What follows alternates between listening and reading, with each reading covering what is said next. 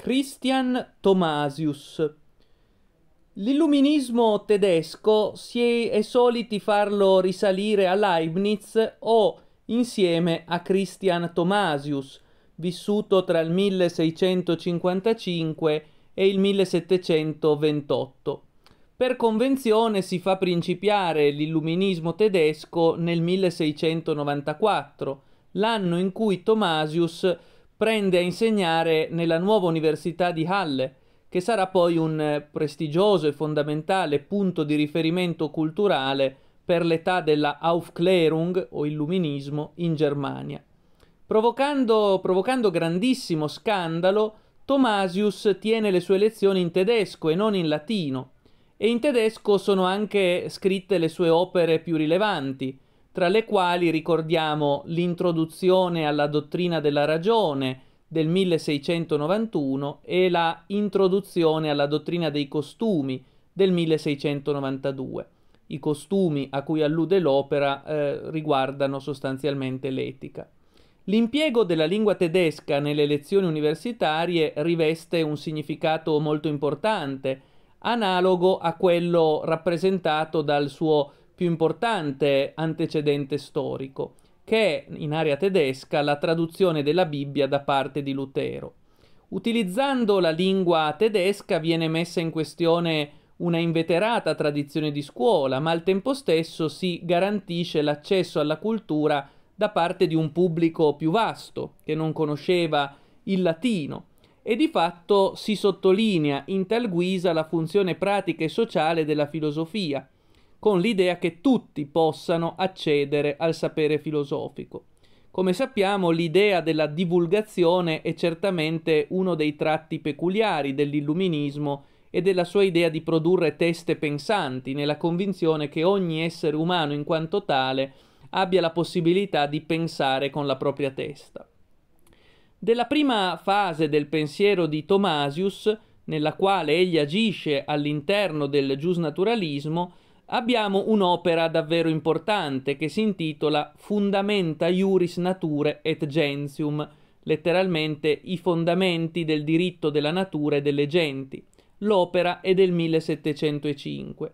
Il giusnaturalismo, come è noto, consiste nel riconoscere l'esistenza eh, di uno ius nature, vale a dire di un diritto iscritto nella natura stessa delle cose eh, lo ius nature si contrappone allo ius positum, vale a dire al diritto positivo, cioè posto, stabilito dai singoli stati e dunque secondo convenzione e non secondo natura. Sulla scorta di Cicerone, e segnatamente del De Officis dell'Arpinate, Tomasius eh, distingue tre valori fondamentali: honestum, justum, decorum. A questi tre valori fondamentali corrispondono le tre attività umane della morale, connessa all'onestum, del diritto, connessa allo justum, e della politica, connessa al decorum. L'onestum ha come proprio principio il seguente: fa a te stesso ciò che vuoi che gli altri facciano a se stessi. Ebbene, questo principio messo a tema da Thomasius si risolve nell'ambito della coscienza interiore. Per quel che riguarda lo justum, proprio del diritto, eh, ebbene il suo principio cardinale, dice Thomasius, è il seguente: non fare agli altri ciò che non vuoi che gli altri facciano a te. Questo principio proprio del diritto pertiene le relazioni tra gli individui e contempla una sequenza di obblighi e di divieti a cui ognuno è costretto a obbedire da una legge coercitiva. Infine il decorum, connesso alla politica, recita quanto segue: fa agli altri quello che vuoi che gli altri facciano a te. Questo terzo principio fondativo della politica riguarda i nessi esterni tra gli individui e prescrive comportamenti non già imposti dalla legge, ma dettati unicamente dalla convenienza. Questi tre principi obbediscono però a un solo scopo, uno scopo che è al tempo stesso la destinazione dell'uomo. La destinazione dell'uomo e dunque lo scopo di questi tre principi è per Thomasius il vivere più lungamente e più felicemente possibile. In una seconda fase della propria riflessione, Tomasius prende le distanze dalla scuola del diritto naturale, restando però sempre coerente con l'assunto, già proclamato nelle opere giusnaturalistiche, della priorità della volontà sull'intelletto. Dunque, Tomasius, predicando la priorità della volontà sull'intelletto, predica in pari tempo la priorità della vita pratica sull'attività speculativa. Le astrazioni metafisiche dei grandi sistemi filosofici, come ad esempio quelli di Spinoza e di Leibniz, restano estranee agli interessi di Tomasius, e ciò anche in ragione del fatto che Tomasius ammette che la conoscenza umana ha un limite invalicabile nell'esperienza.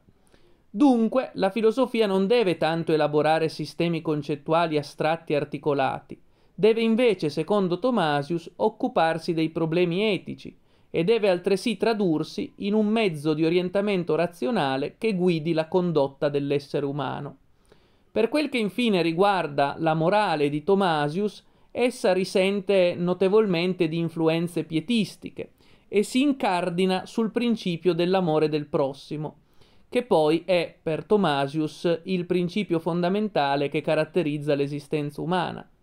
Va segnalato che Tomasius ebbe anche forti interessi per la storia della filosofia, eh, proprio come padre Jacob, il maestro di Leibniz. Tramite la storia della filosofia, dice Tomasius, possiamo emanciparci dalle singole posizioni filosofiche e guadagnare una posizione eclettica, vale a dire una posizione che permetta di scegliere il meglio di ciascun sistema filosofico. Questi suggerimenti sono sviluppati da un seguace di Thomasius, Jacob Brücker, autore di una delle più rilevanti storie della filosofia dell'Evo moderno, opera di storia della filosofia che si intitola appunto Storia critica filosofie, ossia storia critica della filosofia.